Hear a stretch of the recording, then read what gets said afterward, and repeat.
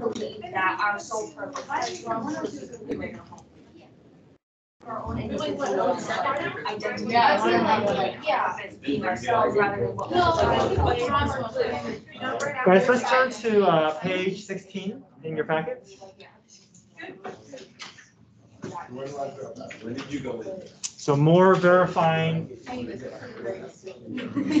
now we have additional identities to learn about.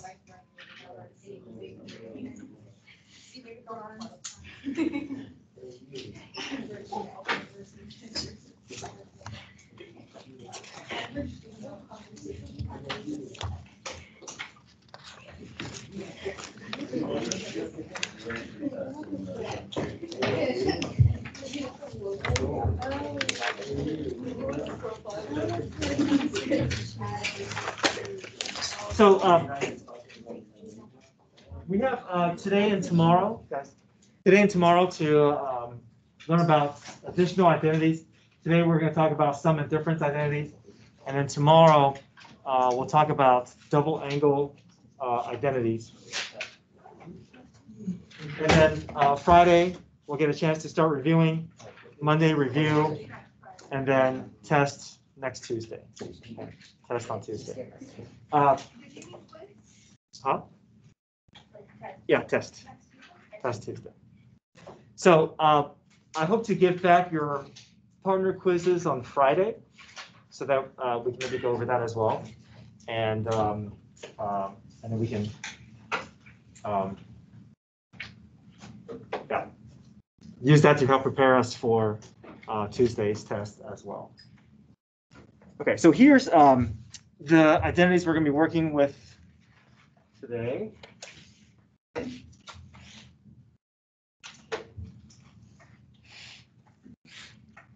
Okay, the first is sum, uh, this is a sine, sum and difference identity, okay? There's no need to memorize this, but you definitely know how to use it, okay? This is what it says. It says that if I have sine of a plus b and a plus b being angles, I can, I can split that up into sine of a times cosine of b plus cosine of a sine of b. Okay, we just have to recognize each of the pieces and okay, insert them in. Um, if I have a sine of a minus b, then I'll have sine a cosine b minus. So the plus or minus just indicates that depending on what sign you get, you'll uh, use the sign that's appropriate. So if it's plus, then you use plus. If it's minus, you use minus. There's also the cosine identity. So cosine of A plus B is cosine of A, cosine of B. But you see how the minus and plus are kind of flip-flop, looks kind of strange here. That means that if I have cosine of A plus B, the formula I'll be using is going to be cosine of A, cosine of B minus sine A, sine B. If the formula, if the problem shows me A minus B, then I'm going to do a plus. Do you guys see that? How like the formula shows a minus plus, so it's matching with whichever form you get. Okay, Oh, do you see that? Here, the sine is going to be the same signs, but with cosine, you're going to be using the opposite sign to get the formula. Okay, Okay, let me show you a couple of examples here.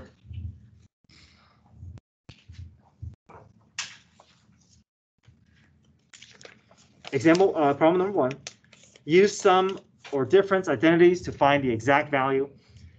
So one thing that uh, we're going to use is the fact that uh, we're going to try to force this into special angles. What I mean by special angles is 30 degrees, 45 degrees, 60 degrees, right? Those are uh, unit circle values we know how to find. 75 is not going to be a nice and pretty value. But maybe we can represent 75 in terms of a combination of 30, 45, or 60. So what can we think of 75 as? 45 and 30. Okay, so I'm going to rewrite this. This is the same thing as um, cosine of 30 plus 45. Okay. So I haven't changed anything. I've just kind of split them up in angles that's easier to work with than 75, right? We're trying to do all this without a calculator. Okay. Okay, so if you look, this fits nicely with our cosine rule, right? Let's think of 30 as our A value and our 45 as our B value. So we're just going to carefully insert into the formula just as we see it. Okay, so what do we have first? Cosine of 30 times cosine of 45.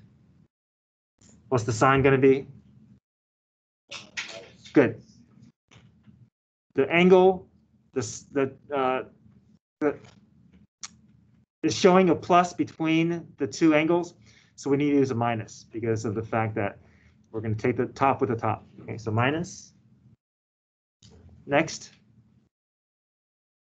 Sine of 30.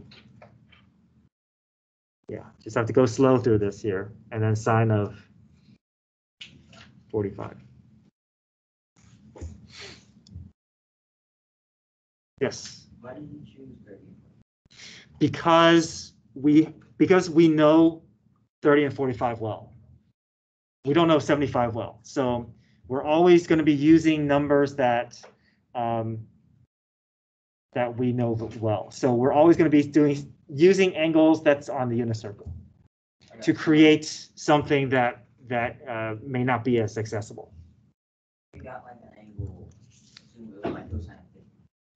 Would you ever give us? Exactly right. Uh, if I if I give you uh, a problem, it'll always be something that you can either add or subtract from angles uh, on the unit circle. Right. Those angles are like thirty, forty-five. 60. Uh, those are the main ones. We may have to deal with second quadrant ones, but if you just know your 30, 45, 60, you're good. But let's re- let's review that, right? Maybe it's been a while since we've thought about unit circle. So I'm gonna put this to the side here. Unit circle. If you recall, you got 60 degree here, 45, and 30 degree here. Right? Order pairs. All your order pairs are divided by two.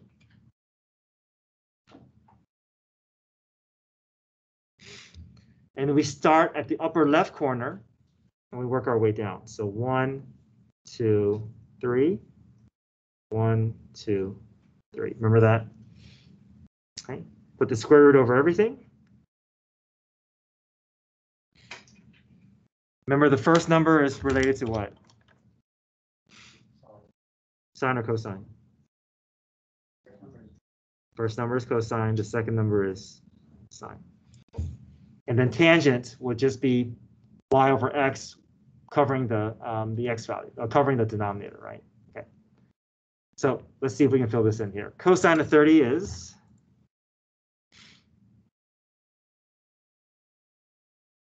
Yep, square root over 2. Cosine of 45 is? Yeah, root 2 over 2. Minus sine of 30. Uh-huh. Sine of 45. Root 2 over 2. Okay, everybody okay so far?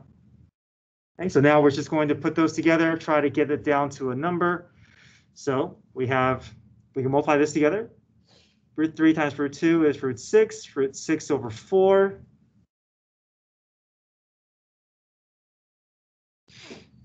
And here we have root 2 over 4. Common denominator means we can put the, put all that under one fraction, but careful, root 6 minus root 2 is not going to be root 4. Okay, it's not going to come out nicely. So the best we can do is just put them next to each other.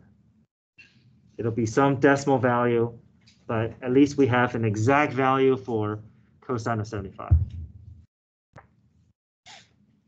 And we're involving sum and difference identities, forcing that 75 into angles that we recognize and then building it from there. Okay, any questions there? Okay, let's look at number two.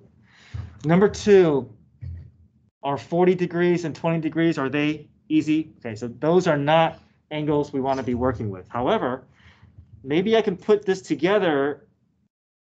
Imagine you're starting on the right side and forcing it into the left side. Maybe after we get it into one of the forms, it'll turn into something that we recognize. So which one does this match better with? The sine sum or diff, sum difference or the cosine sum and difference? The sine, okay? A plus is going to be the same thing as a plus, so what's my, what's my A value? A is 40, B is 20. So we know that this can be turned into sine of A plus B. A being the 40 and B being the 20. So this works out nicely, right? Because I can put this into this form, A plus B, 40 plus 20, which is 60. And now all we need to do is to figure out what sine of 60 is.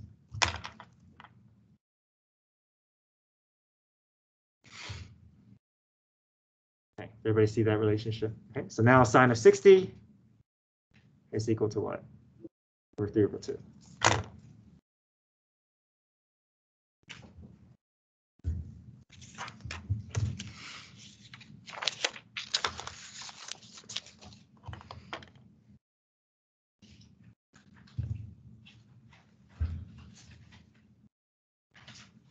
Moving on to number one, use or difference identities to verify the following. So the same idea like what we did on the previous identities, verifying where we're just working on the left side and we're just trying to get that left side to clean up in a way that will eventually match the right side. Okay, so we're going to take advantage of our sum and difference identities. Sine of x minus y fits nicely with this. Think of your x as your a, think of your y as your b, and we're just going to build out the right side.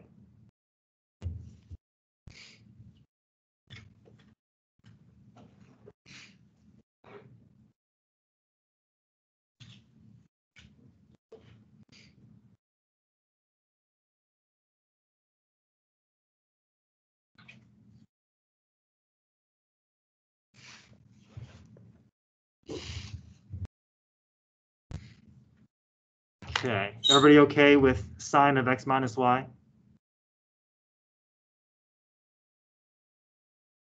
We'll keep going. Sine of x plus y.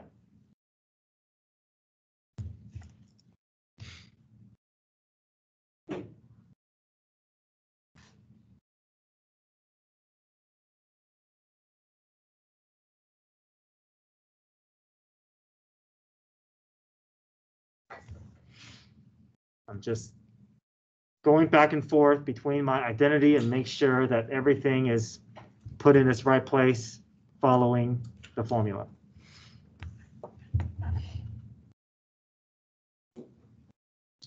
Okay. Everybody okay so far? All right, let's take a look a little bit closer. Anything that matches or can be combined? Okay. Okay. How about the other two? Add them together, so that gives me, yeah. Am I done? Yes, that matches the right side.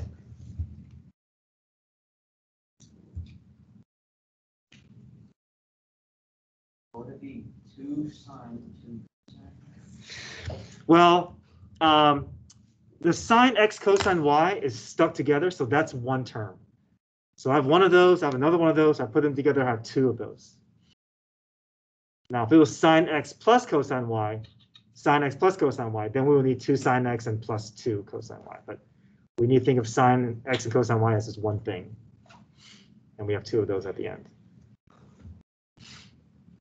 Okay, can you guys try number two? Same idea, look at the formula and see if we can expand out the left side and then combine like terms and it should match that right side. Okay, try number two.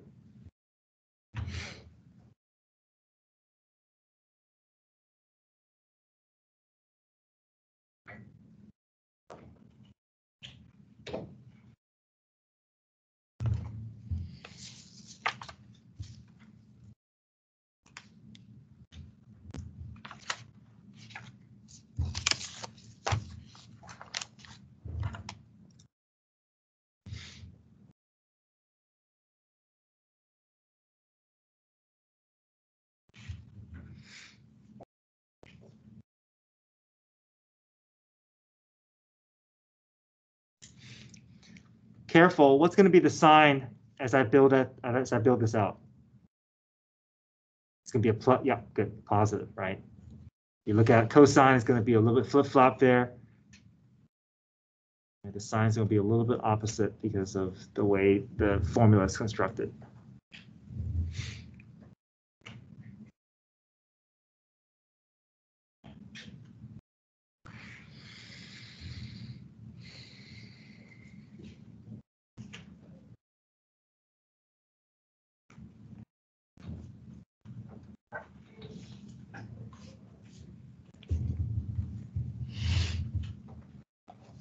Do these clean up nicely? Yeah. Sines goes away, cosines adds together.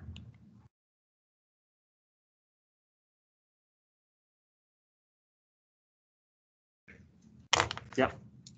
So why would it be, um, cosine X, cosine Y? Why would that be a plus sign? The reason why is because if you look at the formula here, we're dealing with cosine of A minus B, which means that we got to take the sign that is shown below. So if it's a plus, then we will, we'll, we'll find, we'll um, match it with the upper sign. Uh, but the sign, the one on the left is, um, those are matching perfectly. If I see plus, I'll use plus. If I see minus, I'll use minus. But yeah, cosines is, is opposites. That, that notation tells us it's opposite. Okay. Combine like terms, we get two cosine x cosine y.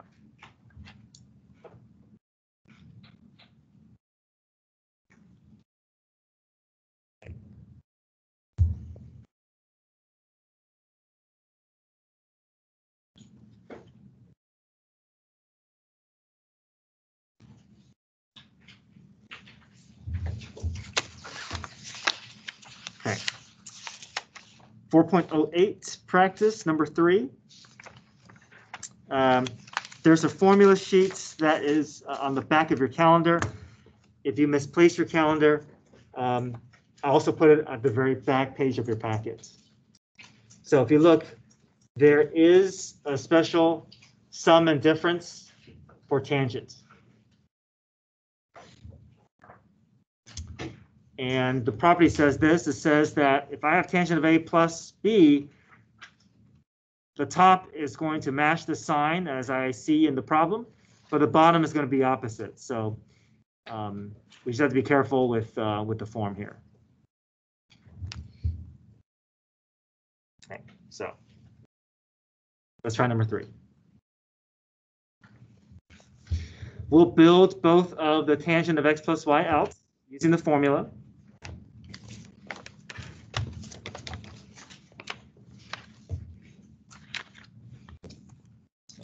One second.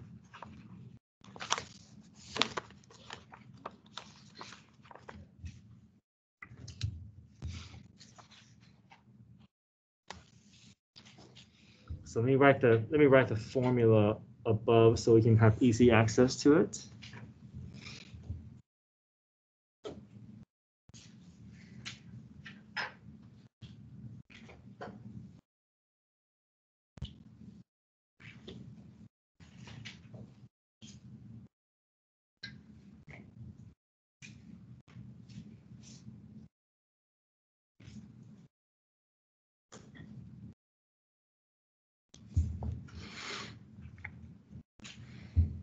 Okay, so we'll start with the plus. So the top is going to match the sign, but the bottom is going to be different.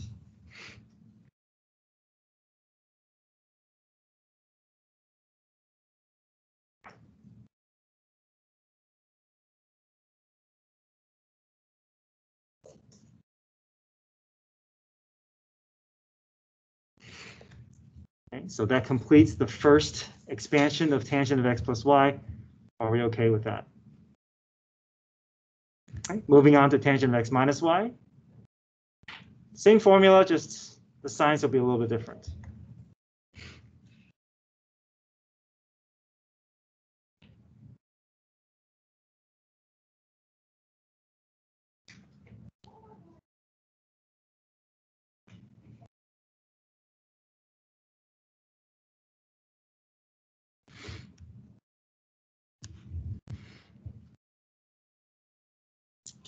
Okay, Are we good so far?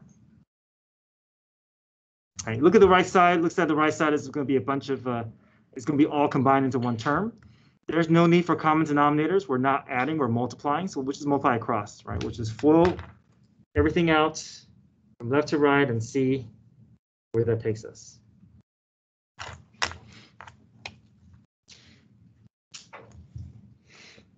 Looks like we have a difference of squares there, so you can either FOIL everything out or just understand that the middle terms will just cancel out nicely because the signs will be different.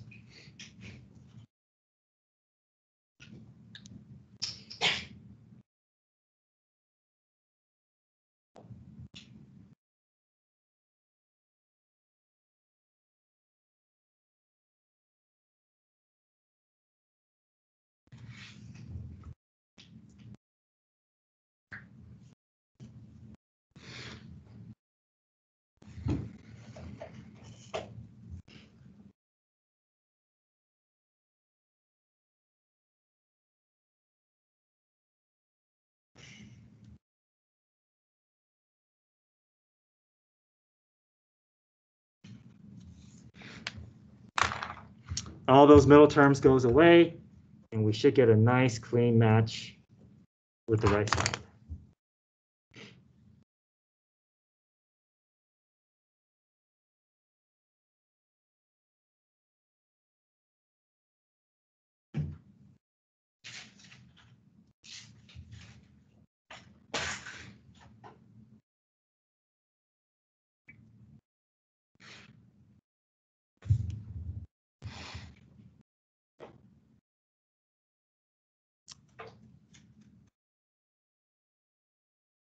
Questions?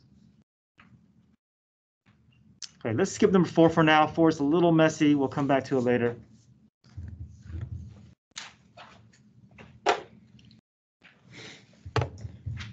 Right, let's turn to page 17. And let's look at number five.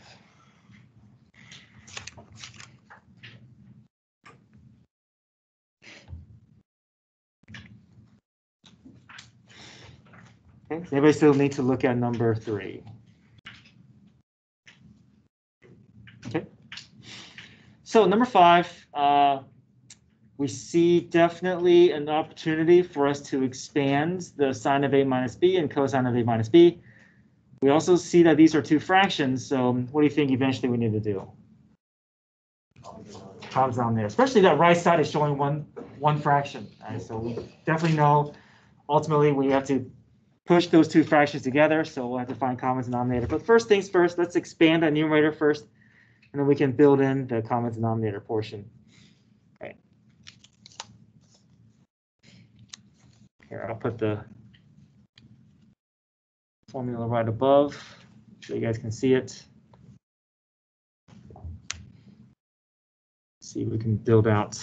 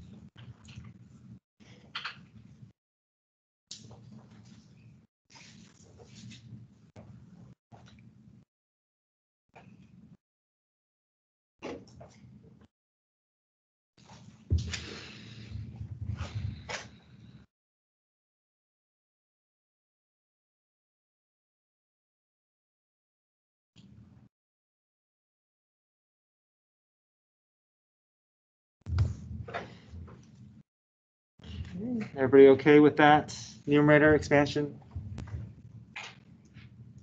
Okay.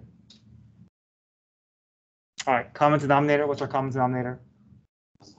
Sine B cosine B.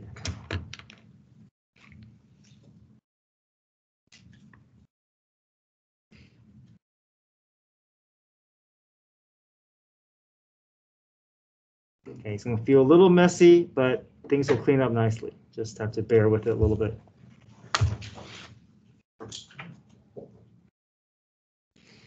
The first fraction is missing a cosine b, so I need to multiply everything through by cosine b.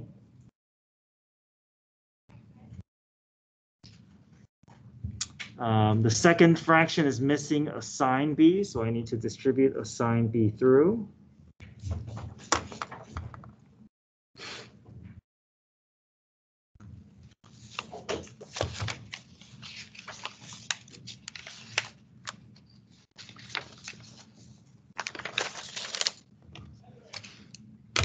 Okay, so first, uh, if I distribute the cosine through the first fraction, I get sine A cosine squared B, because cosine squared B will combine nicely there.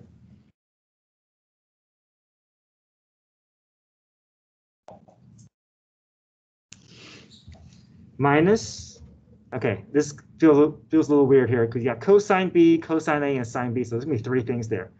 Cosine B, cosine A, sine B, but it'll eventually go away.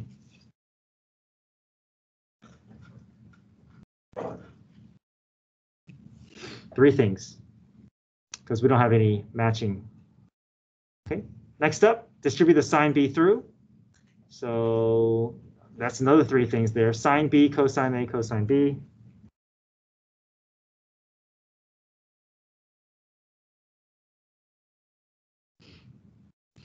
Okay, distribute the sine b through this parentheses. Okay, so now there's a pair there. Sine a times sine squared b.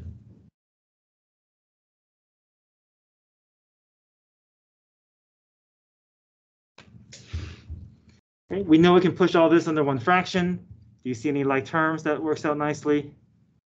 Thankfully this, right? Cosine B, cosine A, sine B.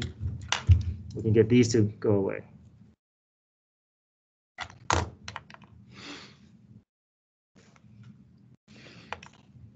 Okay, let's see what we have left.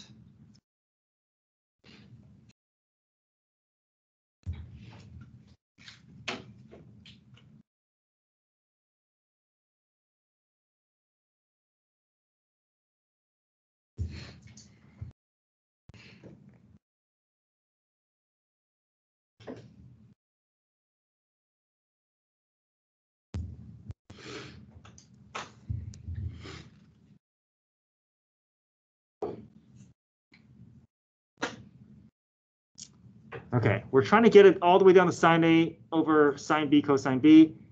Uh, Getting pretty close there. What can we do with the numerator?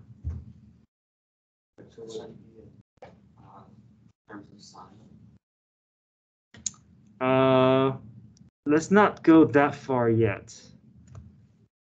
You see anything with the two terms here? What can we do? Take out, The sine A. yeah, let's take out GCF, right? Maybe that, pulling out that, that GCF maybe can um, amount to something, hopefully an identity.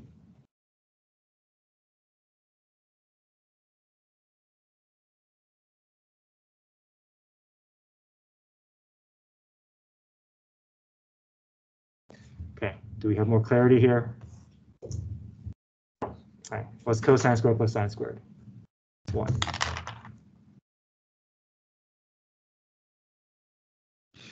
Sine A times one is just sine A.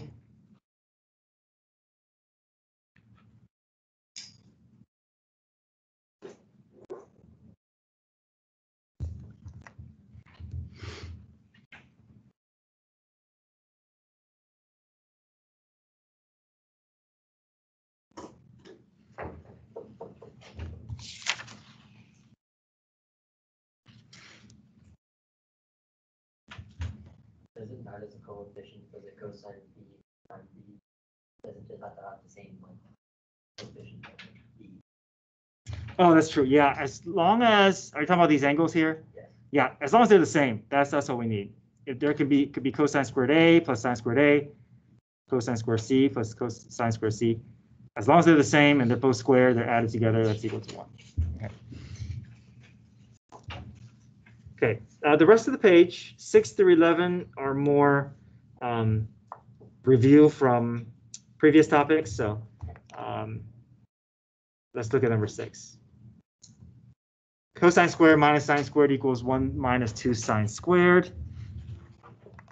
We don't have to involve sum or difference of um, identity here. We can rely on the older identities that we've seen, the, the Pythagorean identities. Okay.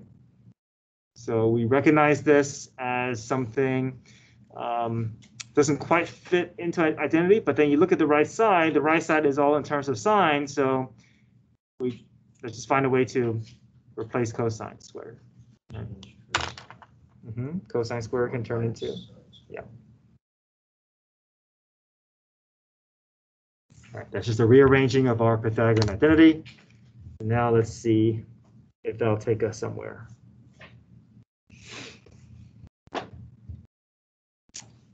One minus sine squared minus sine squared, those are two like terms. We have one minus two sine squared, so there's our answer.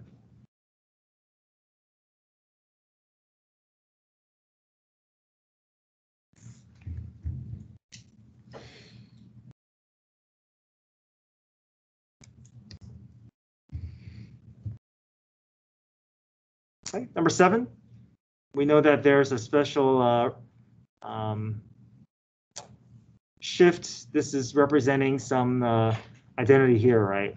What's uh, tangent to power of 2 minus x? Yeah, tangent and cotangent has that shifted relationship there. Just look on your identity sheet.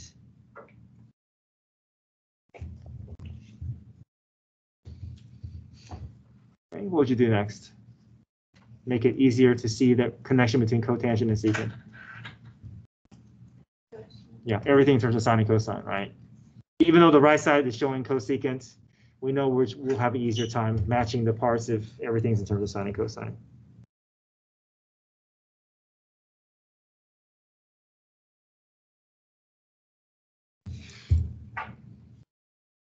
Cosine goes away nicely. We're left with one over sine, which is cosecant.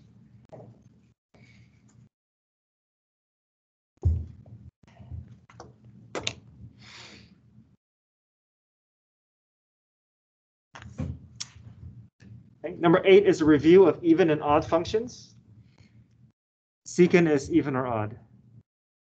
Even, so that negative just goes away.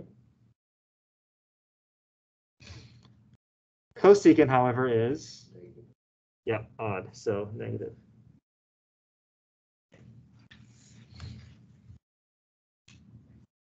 Yeah, everything in terms of sine and cosine, and we're hopefully, we can get a tangent to show up.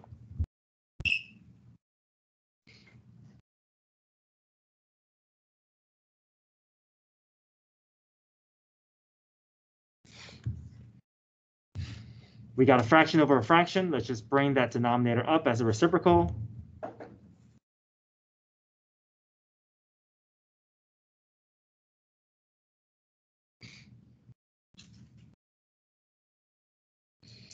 Negative sine over cosine. And that matches with tangent, or negative tangent.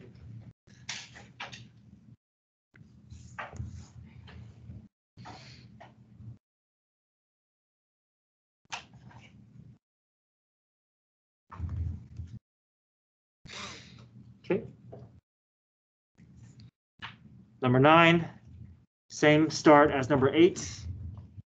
Let's resolve those negative thetas there. Cosine of theta turns into what? Yeah, just cosine, right? Even function that negative has no impact. What about the sine? Negative. Sine is odd.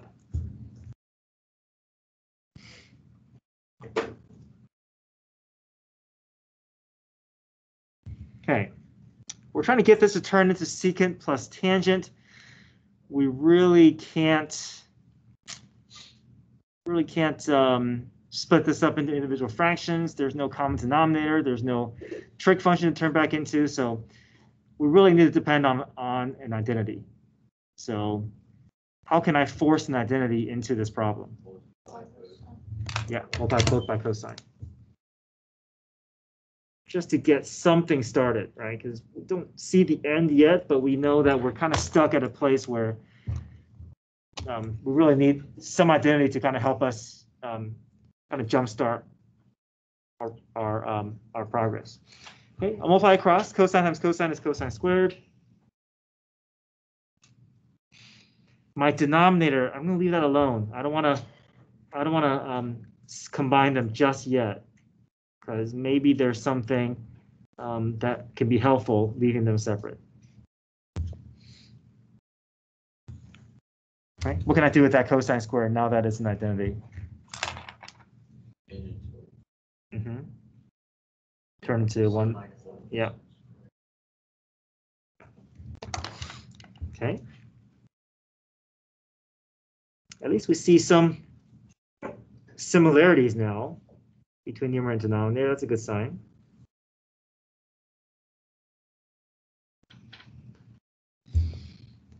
Is there anything more that I can do to make the numerator and denominator look even more alike? Yeah, this, I know they're similar, but we can't quite cancel these out.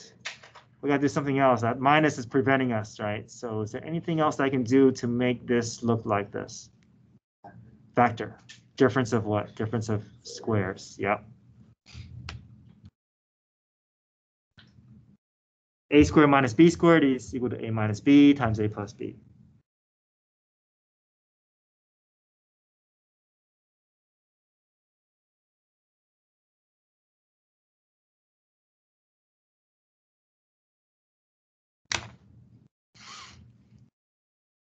Cancel, cancel.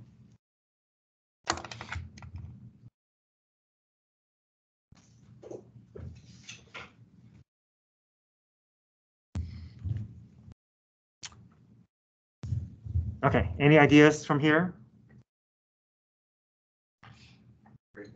Break it up, good. I couldn't break up before, I couldn't break before because I had too many terms in the denominator, but now there's only one term in the denominator. I can break it up and hopefully one will match with secant and the other will match with tangent.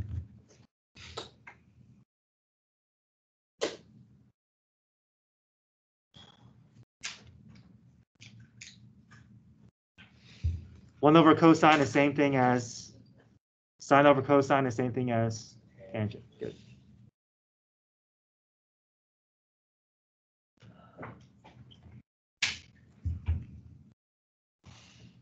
Good. All right, let's do two more and we'll be done.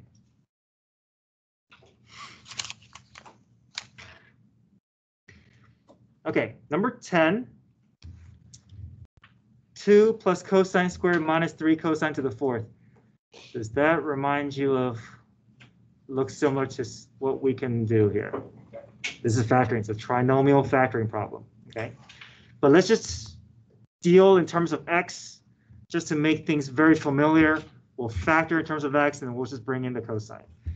Okay, so let's think of, think of this in terms of this problem here. Negative three x to the fourth plus x squared plus two. Okay, see that resemblance there?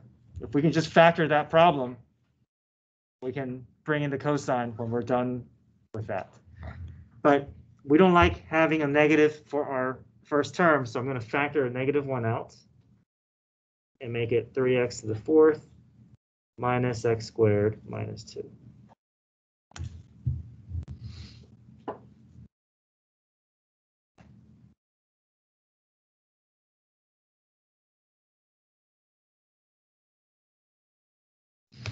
Okay, we ask ourselves what multiplies to be negative 6 and adds it to be negative 1.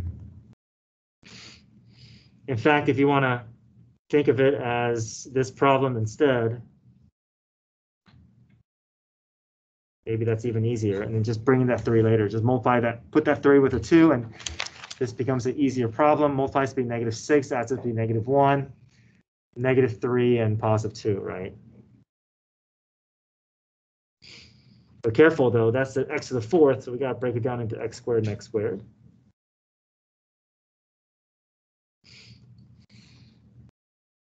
And we move that, we move that three, so we have to bring it back so we don't lose track.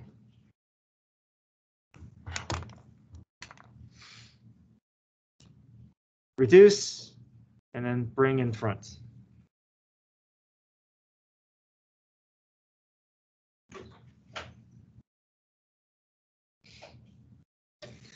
Okay, we spent the time to go through our factoring process. Now let's bring it back in terms of cosine because we're forcing an easier problem there to make it um, more familiar. Now let's bring it back.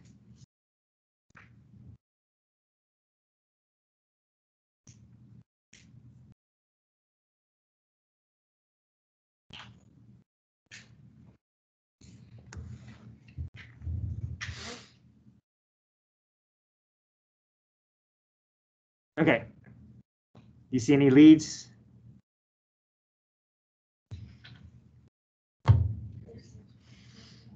Yeah, there's something special here. What can we do there?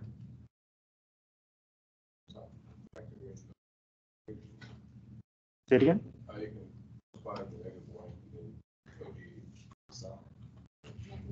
Hmm, okay. Let's see, so one, yeah, I can multiply negative through, that's fine. So if I multiply negative through, I get negative cosine squared plus one, or same thing as one minus cosine squared.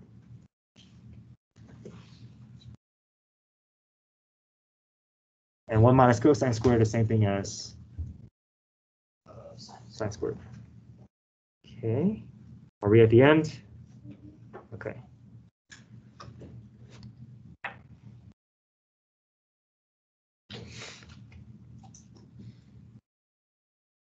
Okay. Try number 11. It should be a little bit easier. The factoring is not as messy, but try number 11 and I'll follow up in a few minutes.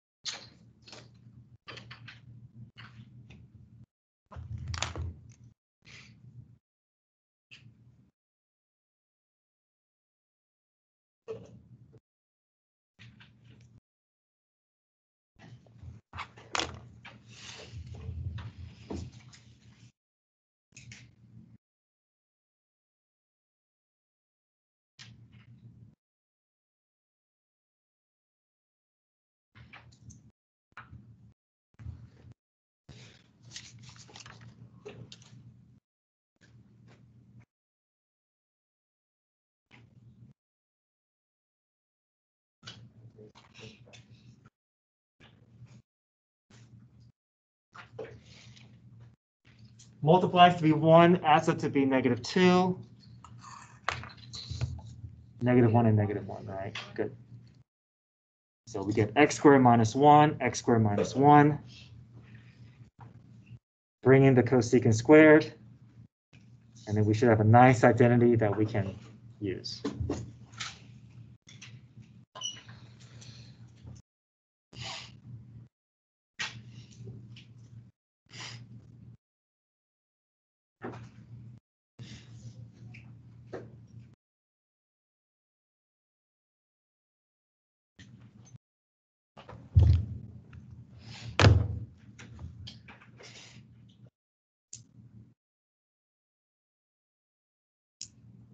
Questions here?